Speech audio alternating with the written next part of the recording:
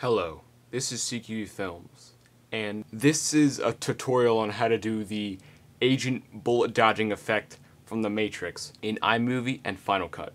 Now, to start out, you want to have a clip of your camera standing perfectly still, have you standing still as well, and have you sort of moving around your uh, upper body, maybe doing a 360, back and forth, side to side, etc and that's your clip. Now what you want to do in iMovie is go to Video Effects, Ghost Trails, set the trail to long, the steps to about middle, and opacity to opaque.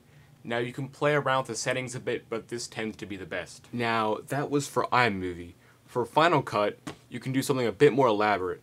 Now what you want to do is have the first video clip just on your timeline here put the same clip on the timeline above it, but a few frames afterward, and repeat until it makes sort of like stairs.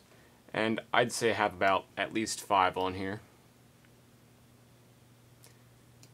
And for the each of the top four, you want to go to double click them, go to motion, opacity, set it to 50, or around 50, whichever one.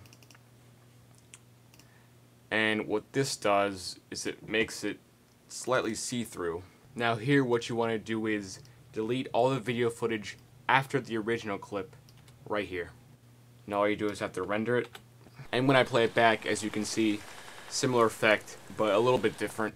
And the good thing about in Final Cut is that you can change it around a bit. Maybe you want to have the top clip a little bit afterward and do your editing and whatnot and th this allows you more free range to uh, do your work and all you gotta do is add sound effects and you're done. There's your Matrix Agent Bullet Dodging effect.